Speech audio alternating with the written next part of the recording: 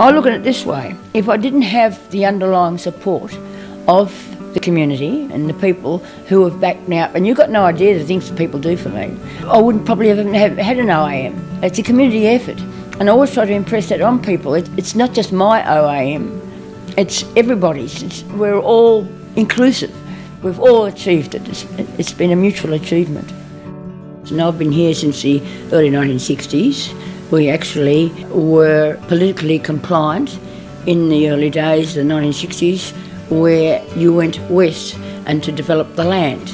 It was the growth paradigm in the context of farming, forestry, um, and uh, trying to make a, a living.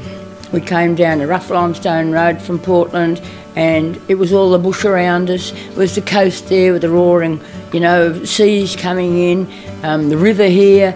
It was just, to say, a little bit of Eden, if you like, and it suited us to perfection.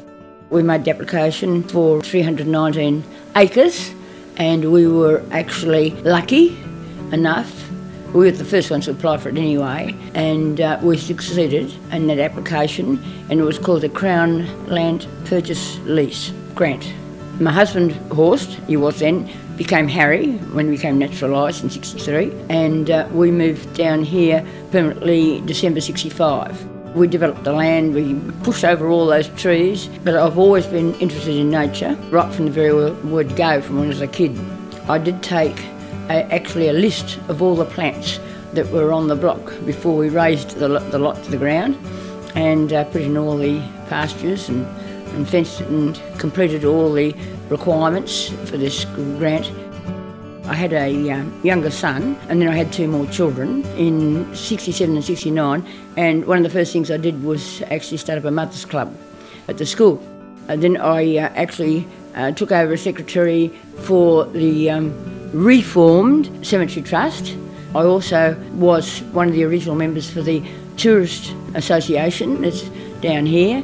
The best achievement, of course, was the Nelson Coast Care because that was the one that was going to cause or help or create or at least get things moving to get people aware of the ecology of this area.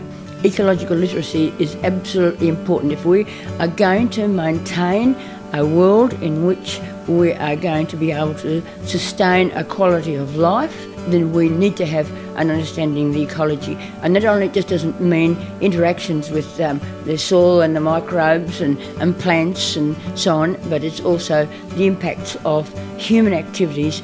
Every biological character that you can preserve it actually has a repercussion where it will preserve others. So we try to achieve as much protection of what we have now as much as we can. We've got people who didn't have that knowledge beforehand now are armed with that knowledge, and we are like a very interactive and supporting community. It is actually involving people, and they've got a sense of belonging, a sense of achievement, a sense of pride. And I've seen this in some of our members. The OAM is a confirmation of the veracity of the work that the Nelson Coast Care has achieved over the last few years. It's an endorsement of uh, what we have achieved and what we are continuing to achieve. And hopefully, it will progress into the future where we'll be able to draw more people into um, having a better understanding of the environment that they live in. There's still a long way to go. One of the, the um, confounding factors is always the funding. You can get some funding, but the, the um, maintenance funding is what needs to be brought into focus more.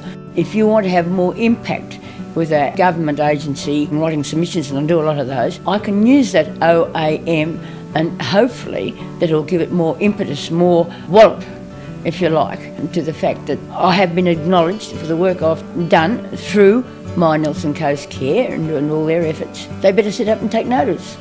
A bit better anyway, hopefully. This caste system is so unique and the actual habitats and the flora and fauna that we have here, we've got a huge amount still of biological factors that we need to keep preserved.